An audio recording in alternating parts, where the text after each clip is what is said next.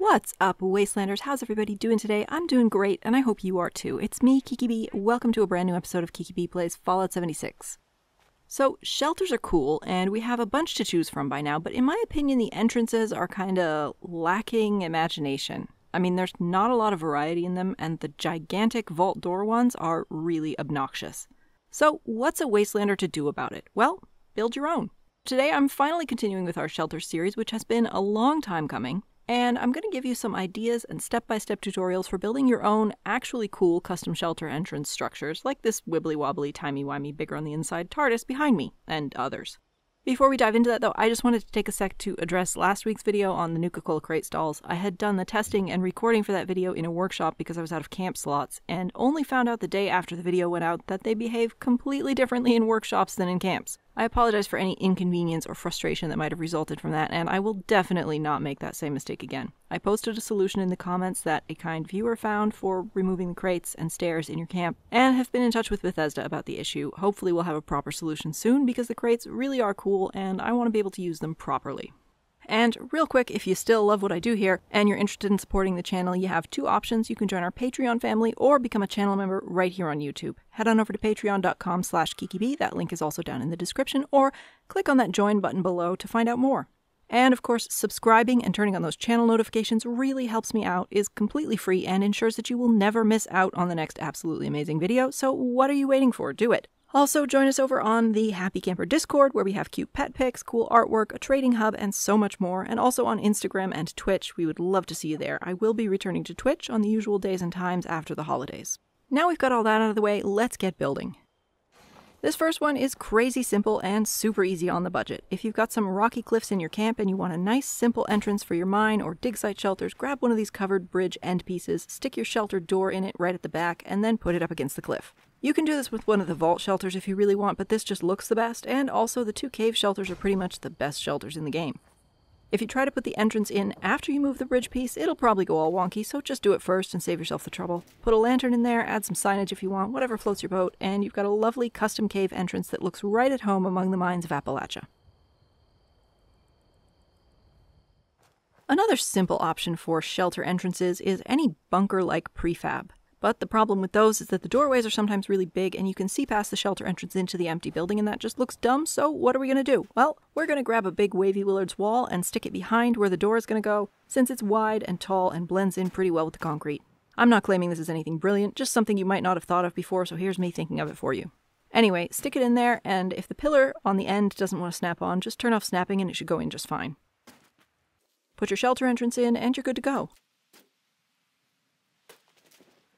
You can even blueprint it to make placing this just as easy as placing a giant vault entrance. Afterward, you can even decorate it up all fancy, make a little Free States bunker out of it or something. Enjoy. And now for something completely different. Time to build a TARDIS. So make a cross of five foundations wherever you want the thing to go. You will need the dark blue wallpaper from the Atomic Shop for this because it's almost the perfect shade of TARDIS blue.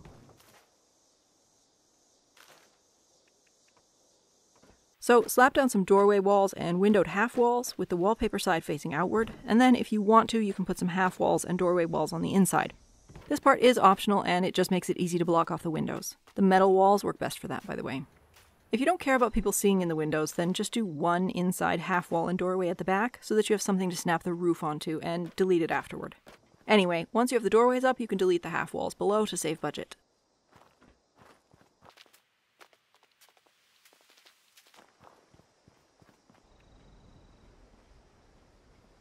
Snap one of these pointy roof bits onto the inner wall or walls, and go ahead and put the front on now. Stick your shelter entrance in a little bit back from the edge of the center foundation, then add your doorway and a half wall in front of it.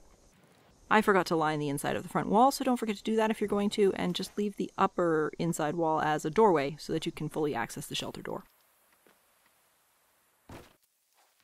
Now grab the circus trailer door and snap it in there backwards. If it won't let you put it in backwards, it's because you removed the extra foundation first, so put it back if you did that.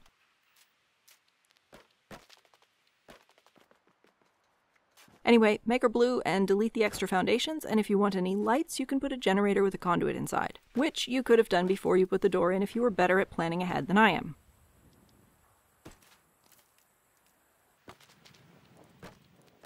I'm going to put the planetarium lamp on top because it's spacey wacy. So there you go, you now have your very own bigger on the inside TARDIS.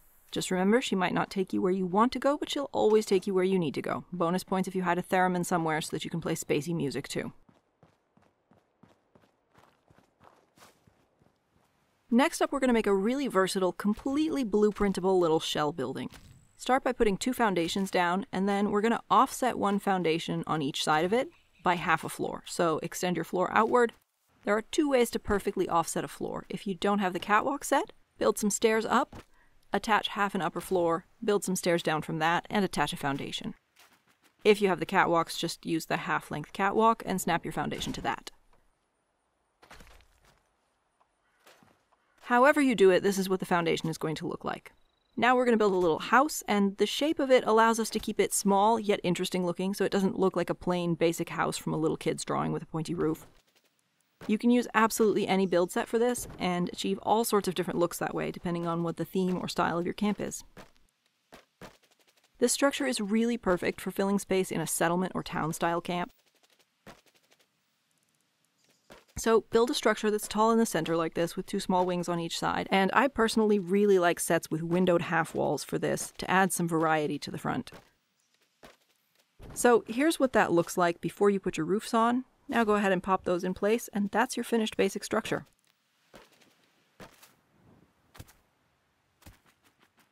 Now, if you want to keep people from peeking into your empty shell of a house, head on into the wings, and we're going to use a really simple trick. Just take a largish painting and pop it on over the window. It'll block them off, look kind of old and beat up, and not take too much budget.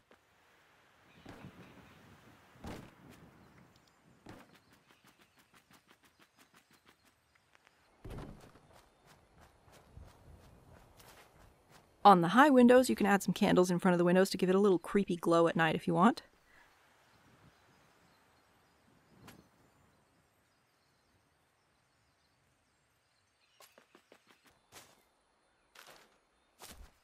Now to finish this off, you can just take the doorway off for a moment and place your shelter entrance down in the middle of the floor. Replace the wall and you've got a boarded up creepy house.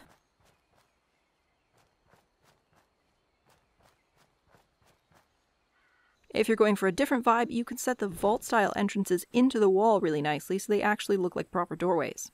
Place down a basic wood wall, burn it with the flamer trap, and put your shelter door in so that it hangs off the front of the foundation a little, maybe even a little farther than I did. Then repair the wood wall and change it to the doorway of your choice, and you've got a vault doorway that actually doesn't look too bad.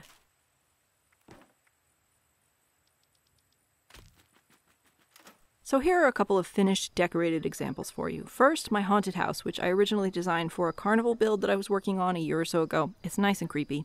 Obviously, the extra decor does add to the budget drain, but it looks so great.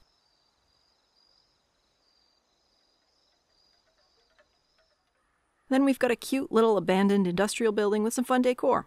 I did decide to go with a normal door on this one in the end. If you open it up, the shelter is right behind it. Okay, last but not least, we're going to be doing a little boarded up cabin. This one's fun. So build a basic cabin with the wood build set, and then break this front wall with the flamer trap. Don't use a doorway, just a plain wall here. Now the very basic version is just putting a cave shelter entrance in here and repairing the wall behind it to create a boarded up doorway.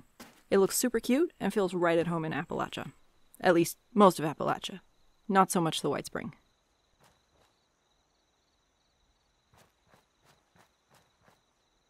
But we can and should strive to go above and beyond, so that's what we're going to do. Break that wall down, and we're going to be using the message board kiosk to take this to the next level. Place it so the little concrete feeties are just sticking out past the edge of the foundation, and then put your shelter entrance down so it sticks out just past the feet. If you get the entrance too far back, when you try to click on it, you'll only be able to click on the kiosk, so make sure it sticks out far enough. Repair the wall, and you've got a cool doorway with a little lit up awning. So if you power the kiosk and throw some random junk around on the ground, you'll get this cute little boarded up shack that looks really at home pretty much anywhere on the map that's not this golf course. That's it from me today, folks. I hope you enjoyed this video. Hope you learned something. Don't forget to make sure that you're subscribed and you've turned on channel notifications so you don't miss out on the next absolutely amazing video. If you liked this and you're interested in supporting the channel, check out that Patreon link in the description or click the join button right below this video to become a channel member. And of course, join us over on Discord, Instagram, and Twitch. I will be returning to Twitch soon and we would love to see you there.